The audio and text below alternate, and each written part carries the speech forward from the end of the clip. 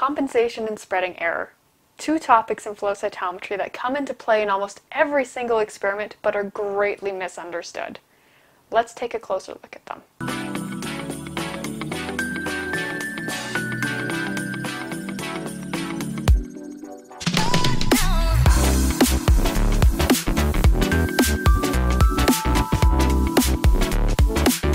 Welcome back to our Introduction to Flow Cytometry series. If you've missed any of our previous episodes, there's a link to the playlist in the description below. Today we're going to be looking at compensation and spreading error, two really important topics in multicolor flow cytometry that are greatly misunderstood. So first up, compensation. We're going to start with the what, the why, the when, and the how for compensation. What is compensation? So if you remember back to the emission spectra we've seen in previous episodes, or up on the side here, the emission spectra is almost always larger than the filter in which it is detected. Because of this, parts of the emission spectra can end up in other filters. So compensation tells the machine that my color belongs in this filter and subtracts any signal from any other filter it might be detected in. Why do I do compensation? The long and short of it, to improve your resolution. You can imagine if you have a lot of spillover into other channels, you're going to decrease your ability to properly resolve fluorochromes in those channels. So by doing compensation, you should have nice clean signals from your fluorochromes in the channels where they belong. When do I do compensation? I recommend doing compensation anytime you have two or more colors in an experiment. Now realistically, you may not always need compensation for these experiments. So at the very least, test it once, and if your compensation values are zero or essentially zero, you likely don't need to repeat it for every experiment. However, if you add new fluorochromes, increase the number of fluorochromes, or really anywhere above four fluorochromes, you should run compensation every single time. Whether or not you need compensation can also depend on the machine that you're using. So for example, you're running a three color experiment on a five laser instrument and each color is on a different laser line, you very well might not need compensation. However, if you're using those same three fluorochromes on a two laser instrument, you probably will. So as a general rule, when it comes to doing compensation, always make sure you test it first before deciding whether or not you need to do it. And finally, how do I do compensation? In its essence, doing compensation is actually really straightforward. As long as you have the right controls, the software will do everything for you. Compensation controls are single stained samples, so they only have one color in the tube for each color you have in your experiment. So a few things that I've seen done with compensation controls that can be problematic. First off, you're working with a cell line that expresses GFP. If you use the cell line expressing GFP, and add your antibodies in it to make your single color controls, every sample will effectively have two colors, GFP and your antibody. This will cause ridiculous problems with your compensation. It will not work.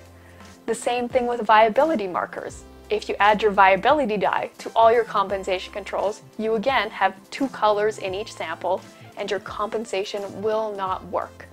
So in its essence, compensation controls one color in a tube, nothing else.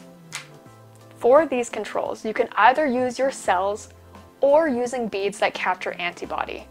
Deciding which one to use will largely depend on your experiment. If you're working with a cell marker that's highly expressed on your cells, so say more than 30% positive, generally you're going to be okay using your cells as compensation controls as long as you have enough cells to also complete your experiment. Using beads can help you get around compensating small populations. So if you have a rare population that's say 1 or 2% on your cells, on your beads it will be 50% or around that. So it really simplifies looking at rare markers for compensation. They're also very helpful when you have a lot of samples to run and not enough cells to do all the controls and experiments.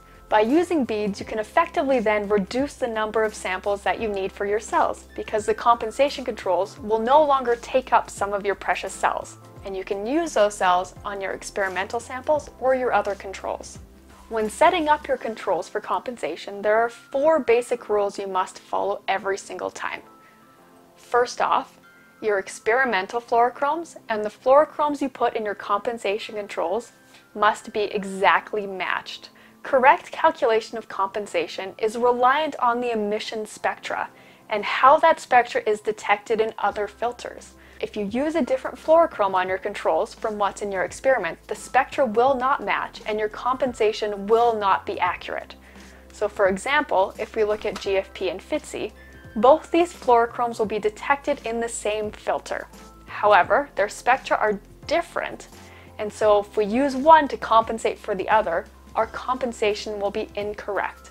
Every time you must use GFP to compensate for GFP and FITC to compensate for FITC. This same logic applies to every single fluorochrome you will work with. A special circumstance are the tandem dyes. Now, if you haven't heard of a tandem dye before, a tandem dye is essentially two fluorochromes stuck together. So things like PE Cy5 has a PE attached to a Cy5. In this example, the PE would be activated by the 561 nanometer laser light. It will then emit, and this emission will activate the Cy5 component. The Cy5 will then emit its fluorescence, and that's the fluorescence we're ultimately detecting in our channels. Because they are two fluorochromes stuck together, tandems can be made very differently, antibody to antibody, lot to lot, vial to vial. So when you're working with a tandem dye, it is always best to use the exact same vial of antibody for your compensation as you have on your experimental samples. And this will remove any errors that can be caused due to slight variations in the emission due to slight differences in the tandem chemistry. Some tandems are very easy to figure out. They sound like they have two names, PE Cy 5, APC Cy 7, APC Fire 780. Lots of them sound like that. However, there are some sneaky tandems that you need to be aware of. A lot of the new dyes will sound like non-tandems, so things like BV650 is actually a tandem dye, even though name-wise it really doesn't sound that different from BV421, which is the parent dye that the tandem is made from. So in working with new dyes, it's always best to check if they're a tandem, and if you're not sure, err on the side of caution and use the same antibody. Second rule for compensation controls. Your controls must always be at least as bright or brighter than all of your experimental samples. And this is because compensation can't be extrapolated. So your compensation will be accurately calculated up to the brightest point of your compensation control. Any fluorescent signal above that will not be compensated.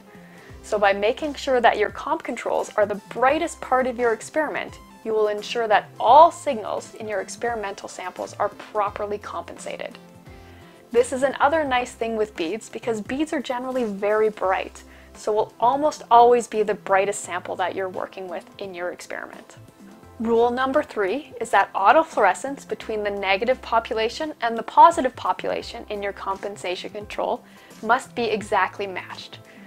The easiest way to ensure this is to simply draw a negative gate and a positive gate on the compensation sample and avoid the use of a universal negative. If you're going to use a universal negative, make sure that all your samples are done with the same material.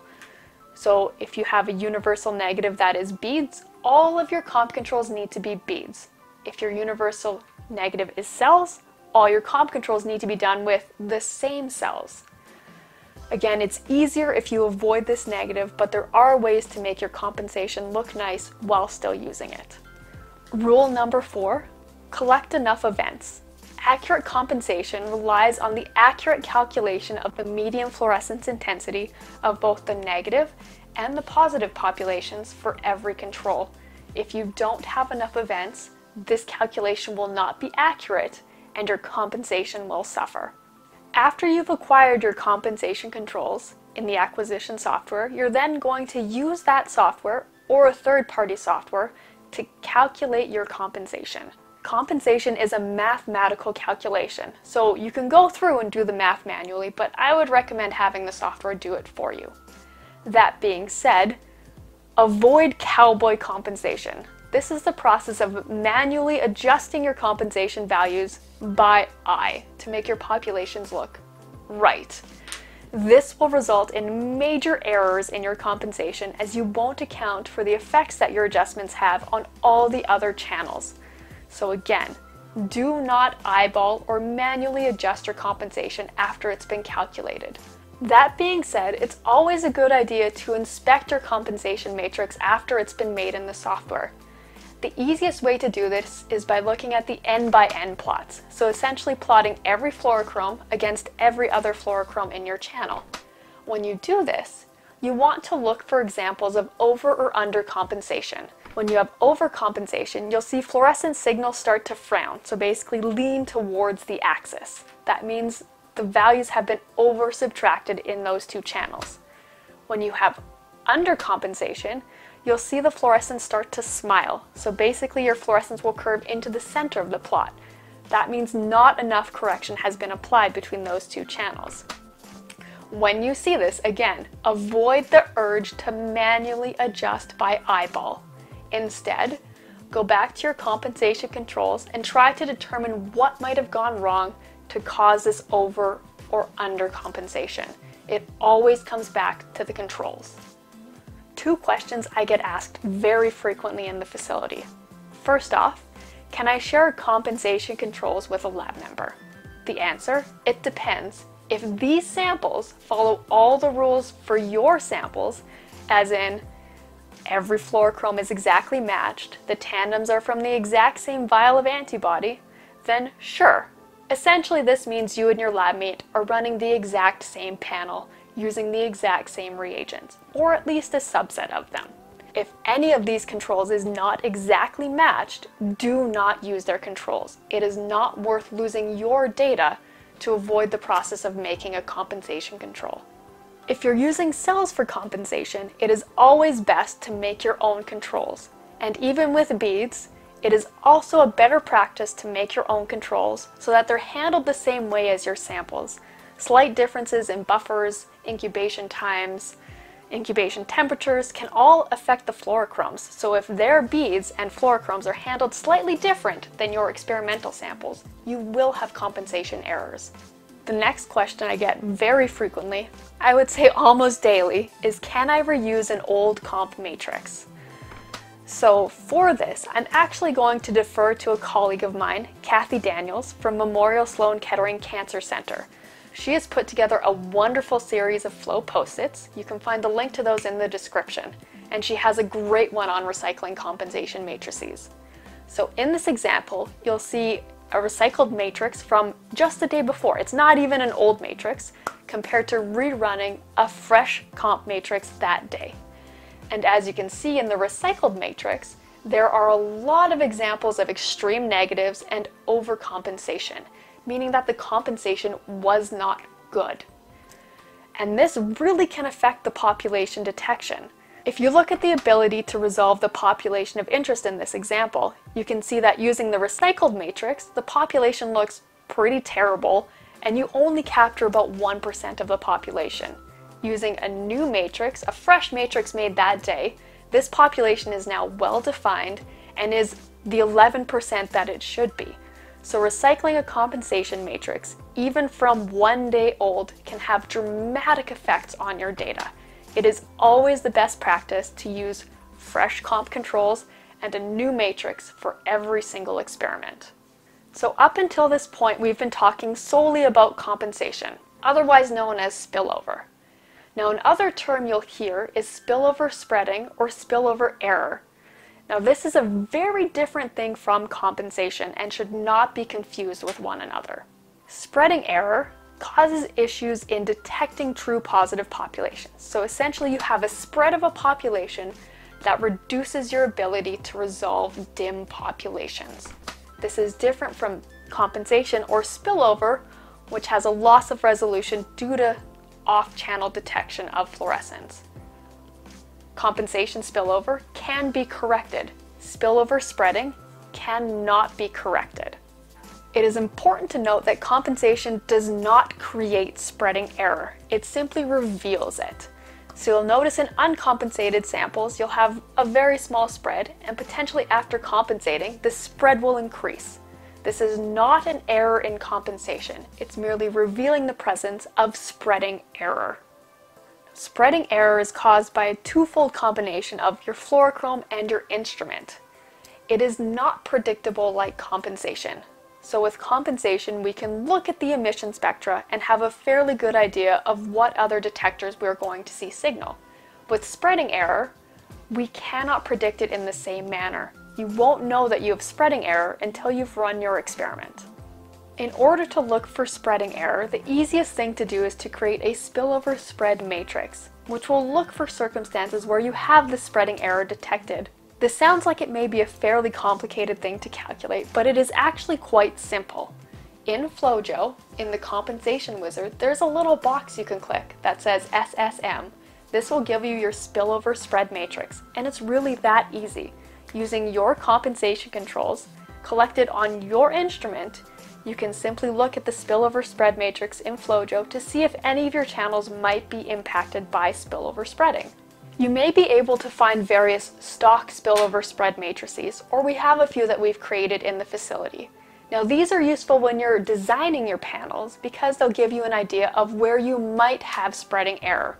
However, these have been done with different fluorochromes and potentially on a different instrument, so they will not exactly reproduce the spreading error that will happen with your panel, your fluorochromes on your machine. So it's always best to double check this with your samples. A common question I get is can I reduce spreading error? Theoretically, yes, but practically I would not recommend this. So because spreading error increases as fluorescence increases, you can theoretically reduce your spreading error by either reducing your voltage or decreasing the amount of antibody, thereby also reducing the fluorescence levels. Because you'll have less spread at these lower fluorescence levels, you can reduce your spillover spreading. However, this comes at a cost, because now you are no longer resolving that population as well as you were before. So that is a cost benefit analysis you'll need to do for your own experiment. But in general, it's better to go rework your panel to avoid spreading error than try to monkey around and reduce spreading error through these methods. I know this is a lot to think about and that these are fairly complicated topics in flow cytometry, so let's look at a quick recap of what we've covered. Compensation looks at fluorescent spillover, Spillover spreading looks at spreading error in a population. Compensation relies on the emission spectrum of a fluorochrome. This makes it fairly easy to predict, and we can remove this spillover using our compensation controls. Spillover spreading is fairly unpredictable. You won't know that you have it until you've run your experiment. And so in this case, you want to create a spillover spread matrix different from a compensation matrix to look for areas where you might have spillover spreading. Thanks for joining us for a closer look into compensation and spreading error. Make sure you've subscribed to the channel and click that little bell icon so you don't miss out on future videos. And with that, we'll see you in the next one.